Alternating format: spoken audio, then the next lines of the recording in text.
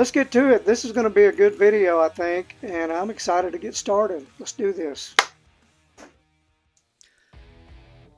So the medium of choice for the day is a recently used whiskey bottle. You're going to take acetone, which is basically nail polish remover, or alcohol, wipe down the bottle I picked some uh, pictures, copied them to give me inspiration and to possibly use on the project. A couple of pictures of Johnny Cash and a guitar. I chose this picture, cut the extra excess border off the outer edges, and then took a cigarette lighter and burned the edges to give it an old antique kind of look.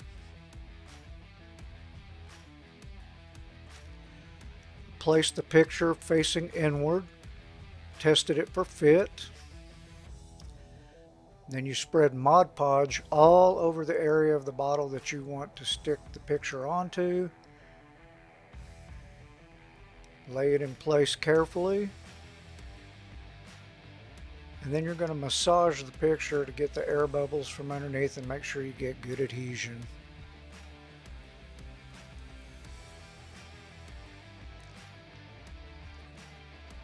Once the picture's in place, you're going to coat the outside of the picture as well with Mod Podge. And once it's moistened, you can massage the, the photograph a little more just to make sure that everything is uh, adhered.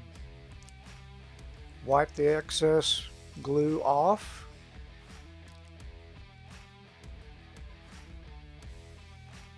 And once that dries,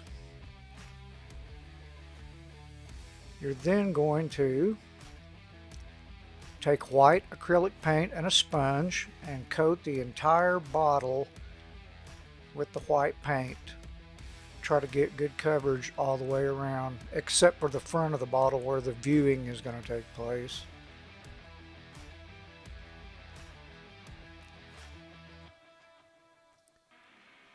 After the paint sets up just a little bit, you can uh, wipe the excess off to give you a clean edge on each side of the viewing window.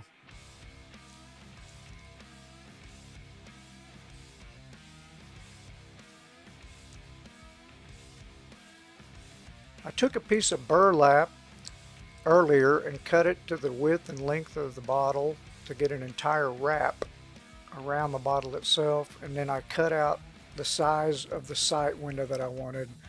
I'm just checking it to make sure it's going to fit and then I'm going to lay it to the side for now.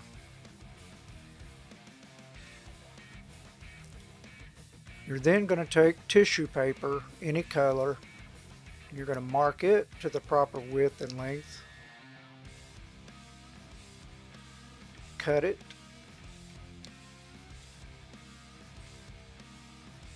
and then we're going to uh, Mod Podge it onto the outer surface.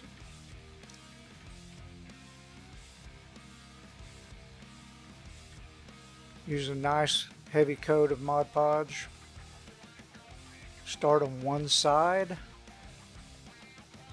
stick it to the bottle and then work your way around. Easy peasy.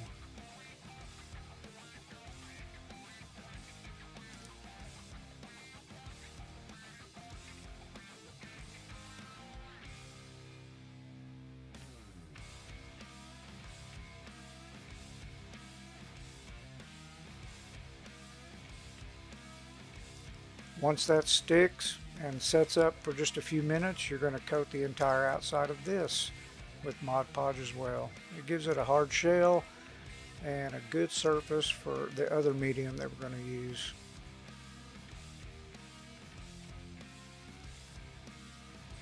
Go get something to drink and watch the squirrels while this dries.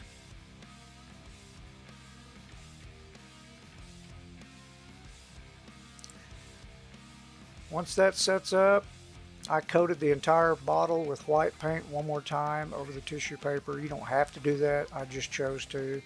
And now we're going to put the burlap on.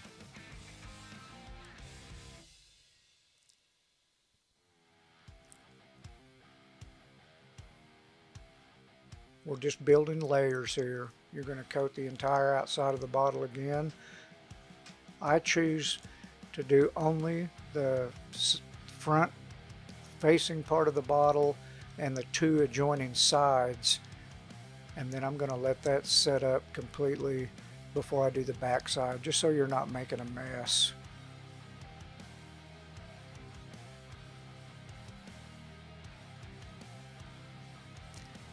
You're going to push the burlap into the glue and get the glue to come through if possible. And you're going to coat the outside of the burlap as well. You want complete penetration and good adhesion.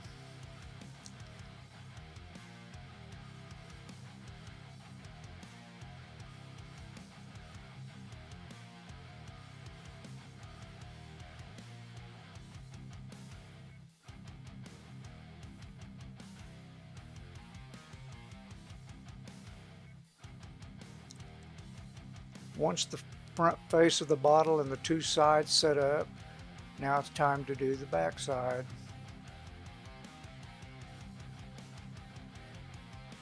Coat it with glue and stretch the burlap.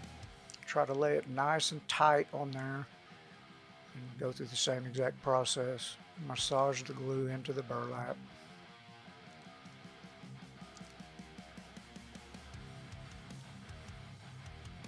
I finally decided to go ahead and put on a pair of rubber gloves for this so that I could massage the glue in without making a huge mess.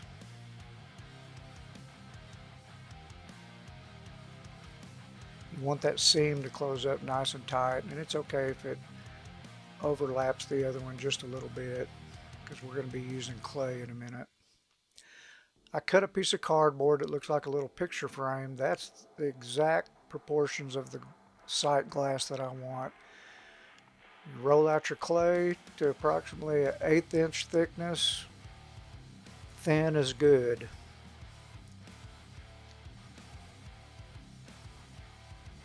You get your measurements again. Width, length. Cut that out.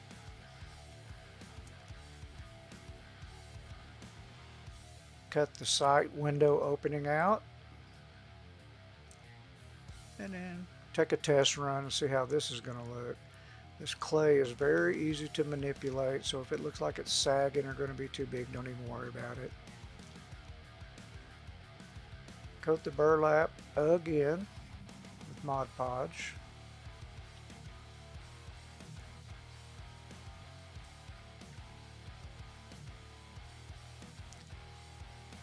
Lay the clay on and start pushing it into the burlap.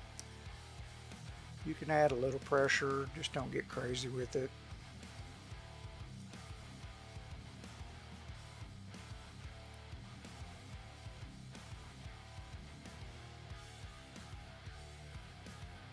Once you get the face on, work your way around to each side. Press it into place. Then I usually dip my fingers in water and massage the clay around. You can make it look as rough or smooth as you desire.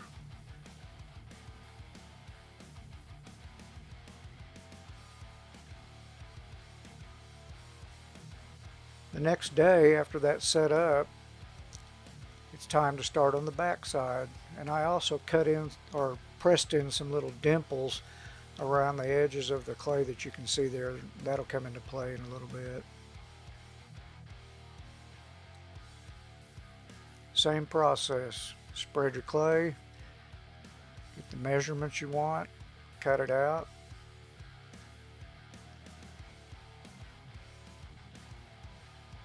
Give it a test fit.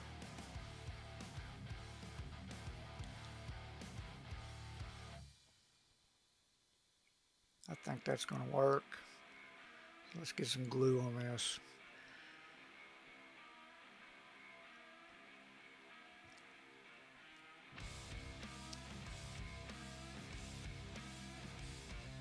I wanted it to have a seam on both sides of the bottle because I want it to look like somebody had pieced this together and sewed it onto this.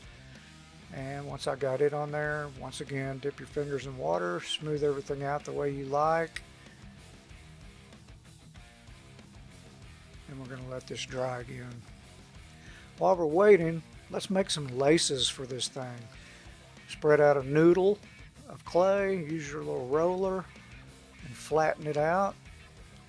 And cut these pieces to your desired width and length. Everybody knows what a leather shoelace looks like. And then I'm going to spread my Mod Podge where I made those dimples. And my Mod Podge is kind of a gray color. I accidentally got a little bit of paint in there. It's not a big deal.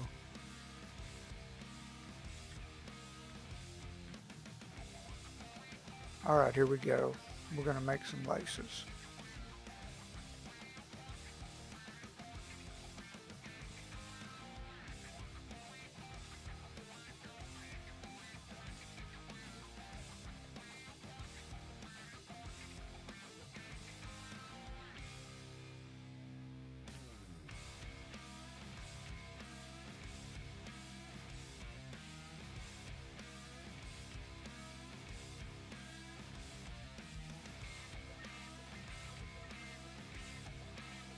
Alright, that didn't take long.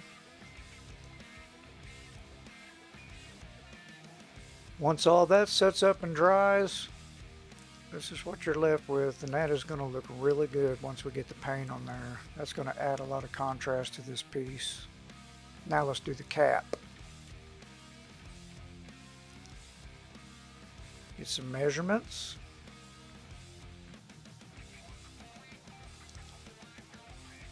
Same process again. Roll out your clay. Here I'm using a can of Pam as a roller. Transfer your length and width measurements onto the clay and cut it. Slap on the old Mod Podge. Start putting this baby on there. This is going to be a little precarious because of the dimensions of the bottle and the way they curve. Once again, this clay is really easy to manipulate and it's so amazing how realistic you can make this look. It looks just like leather.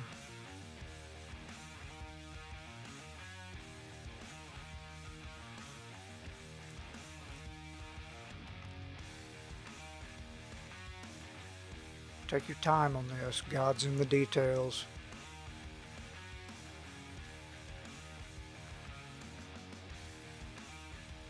I want this to look like that's puckered at the top where I can tie a rope around it or something to make it look like it is drawn up on there. This is really coming together nicely.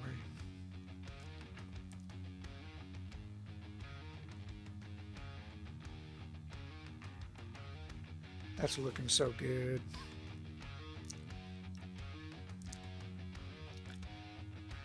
And there's what you're left with. Isn't that amazing? Let this baby dry. I purposely cut the seam for this crooked. And I think that's going to add some really neat contrast to the piece as well.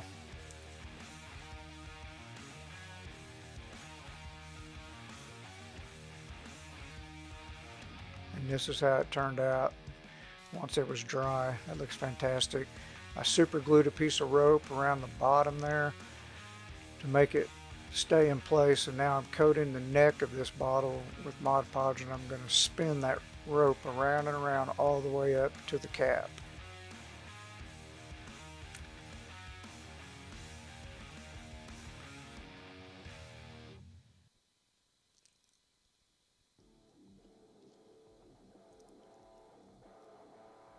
I had some of my footage corrupted.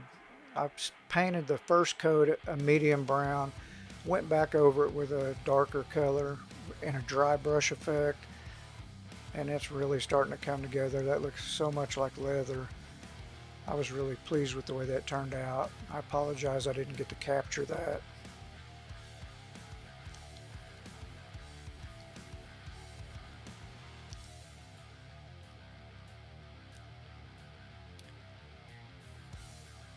Now we're going to put a personal stamp on the bottom. I purposely stamp my initials and I number each one of the pieces I make. I made a silicone mold and an old piece of jewelry that my wife had to make my stamp with. Gently press it into place without smashing out the details. There's the stamp.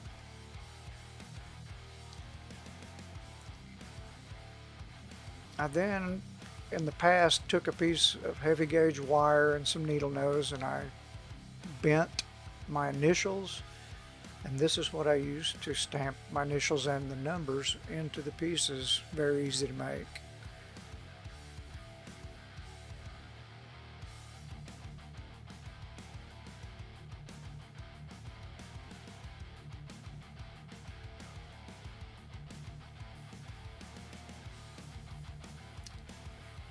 While that's drying, I'm working on the laces. I went with a, uh, medium brown and some Dijon to give it a lighter look and stands out really well against that darker brown. Leather lacing is almost always a lighter color than the rest of the piece anyway.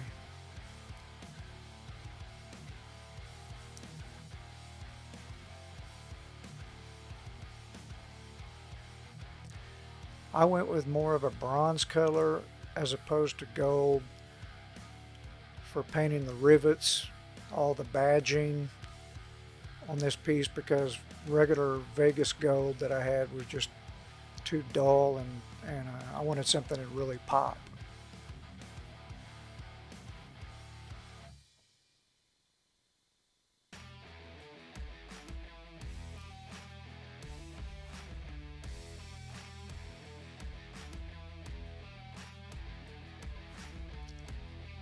That's what we got so far. It's really coming together nicely.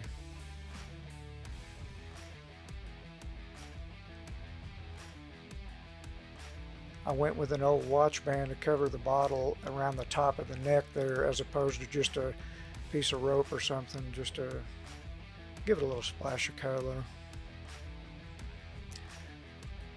Now we're going to work on the cap. I took another homemade stamp where I pressed a piece of chain in there. And now I, I filled that in with clay, smoothed it off with some water, and I find that to get these clay pieces out of a mold, you're better off to flip it over and roll it out like that.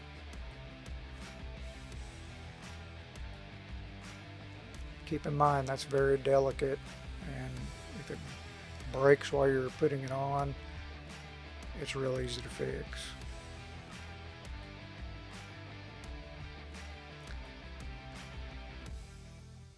Put the chain around the cap after Mod Podging it, of course. After that's set up, that's what you're left with. Mod Podged the top of it and I made a little clay button to go on top.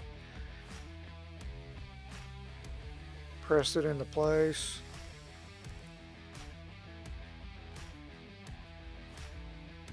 Took a razor blade, traced around the edge, peeled off the excess, and massaged that into place with plenty of water. And then I pressed JC into the top of that for Johnny Cash. After it's set up and dried, I painted the whole thing black, like I always do. And then we're going to put some paint on this.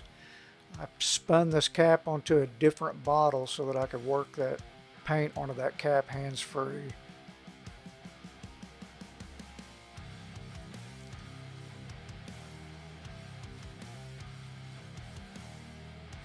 That way I can just roll that bottle around and, and catch every bit of that cap where I want the bronze color to be without trying to hold it and do that at the same time.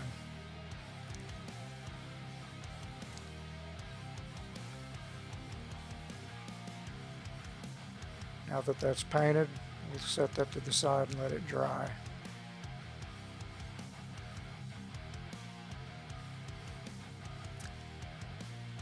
Once it dried, I also mixed up um, some green and light blue and made like a tarnished copper look and just added a few dry brush smears of that around where the badging is, where the lacing is, and on the front sight glass just to make it look like it was old.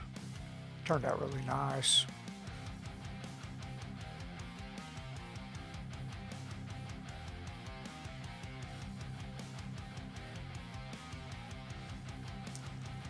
Then I painstakingly masked off the glass for the sight window because we're getting ready to shoot some clear coat on this. I'll put a couple of coats. This is what I purpose, uh, personally use.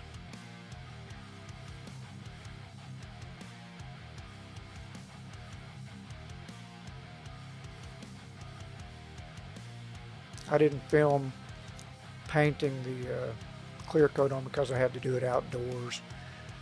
And once you're done, you take a razor blade after all this is dry and clean the glass off.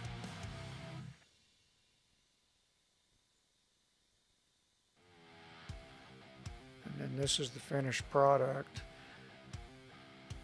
It turned out magnificent in my opinion. I mean, I was very pleased. You can see the rippling in the clay. It looks just like it's got a piece of leather wrapped around there.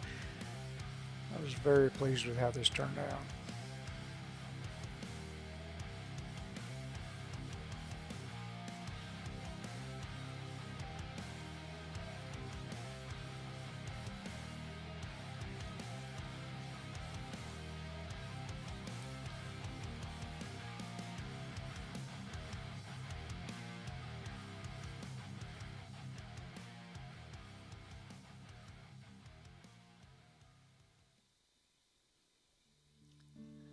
Here's some of my recent projects, different pieces.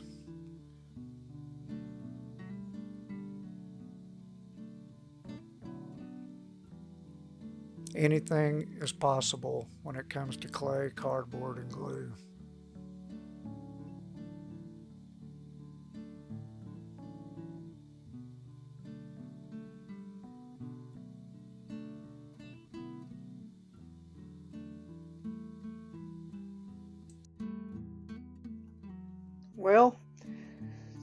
That's a wrap on this one, and I hope you enjoyed it. I hope you got some enjoyment and some knowledge out of the content that I put into it. I fully understand that this YouTube site is out of the norm. I mean, I'm, I know I'm all over the map. I just have a broad spectrum of interests and multiple hobbies, and I get that. I mean, this could potentially hurt the growth of my channel in some ways, but I'm a big believer in trying to leave the, the world a better place once you're gone than it was when you got here. And if you have any questions or comments, be sure to leave them below. Sometimes I don't really have an idea of what of what uh, my subscribers want to see and I'm very interested in that. Um, anything that interests you that you'd like to see me try a video on, I'll be the guinea pig and see if I can make it work or not. Other than that, um, you're going to see a broad variety of videos on this channel because I'm always into something new. And um, I've been getting a lot of questions here lately on through email about my music. Um, I don't care. If you want to learn how to play guitar and you want me to do a quick video on that, that's great. Um, I don't know. I need your help. I need your help in knowing what's what you want to see because I'm all about trying to keep my subscribers happy. I want to give a big shout out to those of you that are my subscribers. I've got like 2,590 something subscribers. I'd like to see that grow even bigger if you like what you see, I wish you'd pass that on along to uh, folks that you know and, and help me grow. I love doing this. I love teaching people, and I, I want to continue doing that. Anyway, I love you guys, and until the next one, this is Shaw for okladoma, signing out.